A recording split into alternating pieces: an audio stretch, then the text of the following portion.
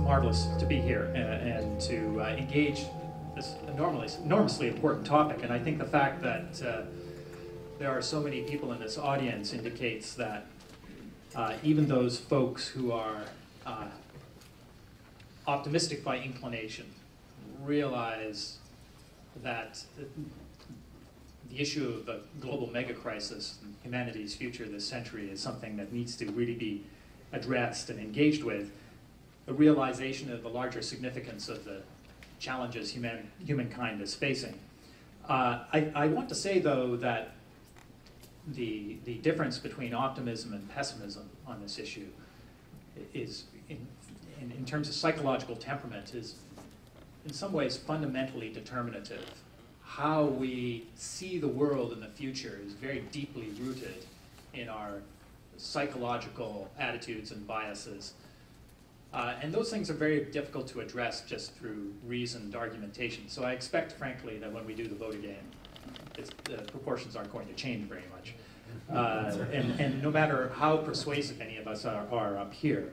Uh, additionally, I think we have to recognize that uh, when it comes to understanding humankind's prospects this century, uh, we are faced with a, a, a situation of truly profound, intractable uncertainty. Bill talked about the fact that there is always uncertainty. We are, we are living in a world increasingly characterized by unknown unknowns, but we don't even know what questions to ask most of the time. We're ignorant of our own ignorance. And I think as our world becomes more complex in a, a number of respects, uh, this fundamental intractable uncertainty is uh, going to uh, increase, it's going to deepen. Now, I don't see that necessarily as a bad thing. I'll explain in a moment why. I think it, it actually, it, it, it can contribute to some of our difficulties. But, but I also think that it's a cause for optimism. Uh, I was on stage a number of years ago with uh, a, a, fellow who uh, was much more pessimistic than I, which is saying something. And, uh, uh, and I guess one of the audience members got up, this was in Ottawa, and asked, uh, is there any hope? And my partner on stage said, no, I don't think there is. and I, I, said, well, you know, the value of the fact of the, of, of the complexity, the enormous complexity of the social, ecological, economic, technological systems we're now embedded within, is that we actually don't know whether there's no hope. And as long as we don't know, I'm going to presume there's at least some hope and get on with seeing what can be done to make the future for my very young children uh, uh, a better future, a future in which they can prosper. Uh, I think given all of that background, the intractable uncertainty that we face, uh, the, the, the role of temperament, optimistic versus pessimistic temperament, in our assessment of the prospects for humankind and the likelihood of a global mega crisis, I think in many respects the debate that we've heard today is very nicely summarized uh, as one, in its most simplistic labels, could be uh, described as a debate between techies and greens, uh, getting a little bit more sophisticated, as a debate between uh, those who think that human innovation will triumph and those who think that we face fundamental limits to growth that, are, that cannot be breached through innovation.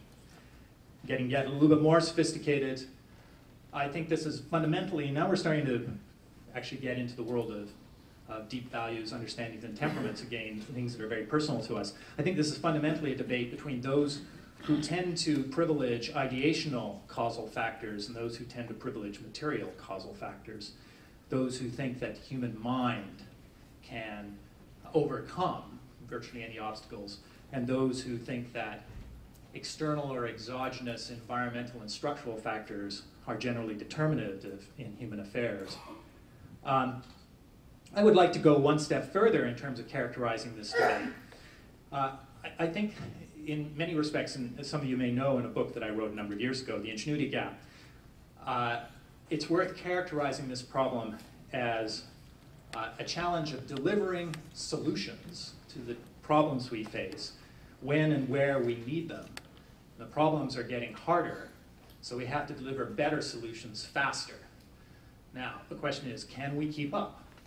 Uh, can we deliver those solutions when and where we need them? And we can get into a debate about what we mean by solutions, what it means for a problem to be solved, what it means for something to be a problem. All of those are worthwhile questions. Uh, I disaggregated this question into the problem of the requirement for ingenuity and the supply of ingenuity. The uh, argument was that our requirement for solutions uh, is going up. Our solutions need to be more complex. Uh, we need to deliver them faster. Uh, and the requirement is going up in part because of deep stresses that we're facing in our world that fundamentally challenge human prosperity, many of which you've already heard about this afternoon. Uh, I won't go on with the issue of the requirement side. You can also then talk about the supply side. Are we able to keep up? Are we able to supply the ingenuity we need when and where we need it, the solutions we need? And I think there are at least four reasons why we face some pretty fundamental obstacles to keeping up. Uh, and again, I'm not going to elaborate. I put these in the category of brains, uh, cognitive factors, psychological factors that sometimes impede our ability to deliver the solutions we need when and where we need them, uh, difficulties or uh, impediments within our scientific and technological institutions, uh, market failures, so problems within our economic institutions, and then finally, uh, issues and obstacles at the political level, especially relating to the structural power of vested interests that don't want to see any change in the status quo. And I would say that they're actually, for most of the challenges humankind faces that might contribute to a global mega crisis, there are actually very good solutions out there, vast numbers of them in many cases. Uh, but it's not the creation of the ideas that's a problem. It's the delivery and implementation of those ideas that's a problem. And we have uh, just manifold institutional failures, uh, largely because of the role of these structural vested interests. I won't elaborate too much further on that general perspective, but I would say that, that uh, I started my career sounding like uh, Rick and Michael, and I'm going to probably end my career sounding a lot more like Bill. Uh, um, as, uh, as Rick suggested, I, I, do think in some fundamental respect the challenge we face is most deeply rooted in our minds. So I'm shifting to the ideational side of that balance that I mentioned before. Uh, can we keep up? Can we deliver the ingenuity when and where we need it? Can we decrease our requirement for ingenuity by making our problems less, less difficult and also by increasing the supply of ingenuity. I think that uh, whether we can or not is going to depend to a large extent on luck. We have to hope that things break our way at various moments in the future. Uh, intractable uncertainty is going to unfold uh, over the course of this century as a series of branching possibilities as we go into the future. Highly contingent moments where uh, perhaps the actions of a certain people or leader at a particular time can lead us down one pathway versus another pathway. Whether we uh, change uh, that relationship or balance between the material and the ideational uh, and choose more prosperous pathways, I think will probably ultimately depend on uh, five factors, which I'll mention very quickly. And you've heard about some of these already from the other presentations. I would say, by the way, that these five factors involve a fundamental reconfiguration of the relationship between the ideational and the material on our, on our planet, I would say that the deep problem that humankind faces is that that relationship is woefully out of balance. That our cultures, our economic institutions, uh, our consumption behaviors are out of uh, are mismatched uh, to our material environment, our energy availability, the nature of our climate, resource availability, et cetera, on what is increasingly seeming like a very small planet. But very quickly, in terms of sounding like Bill at the end, uh, I, I, I think, and, uh, but also a certain amount of Rick too, the, the, the, the first challenge is to reconsider what we mean by the good life and to think about uh, our value orientation in this world. Now, some people might think these things are unchangeable, that they're givens. But I think that history shows that there can be an enormous variety of beliefs and values relating to how we think of our, our futures, what we desire for our children, for our communities, uh, where we set the boundary of the community, the we and the they, uh, what our relationship is to the natural world. Those things we, we clearly need to readdress and, and uh, consider a whole variety of alternatives to the dominant discourse of values and beliefs that are on the planet today.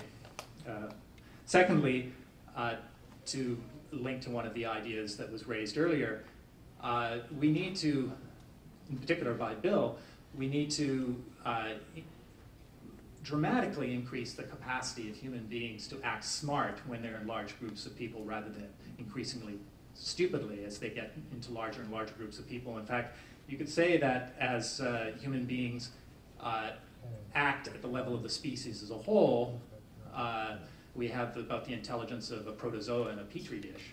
Uh, you know, we're busy gobbling up our resources and poisoning ourselves with our excrement. The capacity of these new online and IT technologies to allow us finally to uh, recognize or realize something like collective intelligence on a global basis is something that could really be a game changer. Uh, and and uh, uh, that is a reason for optimism. We have technologies available that could achieve that that weren't available before. Those technologies, those online and IT technologies, can also provide the, for the third possibility, which is large-scale popular mobilization that could uh, act against those structural vested interests that are blocking uh, significant change and the delivery of significant solutions to the challenges we face. Uh, and fourthly, uh, the issue of energy is absolutely fundamental. And if we don't make major progress in developing uh, carbon-free sources of energy uh, soon, which would require very large-scale social investment, uh, then I think we are in deep, deep trouble this century, especially given that there's a close relationship between uh, the delivery of high-quality energy, large quantities of high-quality energy, and the ability of societies to sustain high levels of complexity, technological and institutional complexity if our energy becomes much more costly this century, for whatever reason, then we're going to have much more difficulty, vastly more difficulty, delivering the solutions that we need to problems like climate change. Uh, and then uh, finally, the, perhaps the most difficult and intractable problem of all, and the one that we have to address and come up with answers for, is uh, developing alternatives to our conventional model of economic growth, uh, uh, which is a high consumption, high material and energy throughput model of economic growth. And it would probably require advances in all of the previous, this particular challenge, developing alternatives to conventional economic growth, would require advances in the other four matters that I've highlighted, uh, value and belief change, reconsidering what we consider to be the good life, uh, mobilization of collective intelligence, uh, political mobilization against vested interests, and finally, uh, major progress in developing carbon-free energy. Now, uh, I think, just to conclude, that if we move in these areas, then there's a, a reasonable prospect that uh, Bill will be right ultimately by the end of the century, as opposed to Rick and Michael. But, uh, but it's not by any means uh, determined one way or the other. There are an enormous number of choices in terms of social science language or lingo uh, there is an enormous opportunity for the, the, the engagement of agency as, we, as the century unfolds. Uh, we have some opportunities to actually choose a path for ourselves. Thank you very much.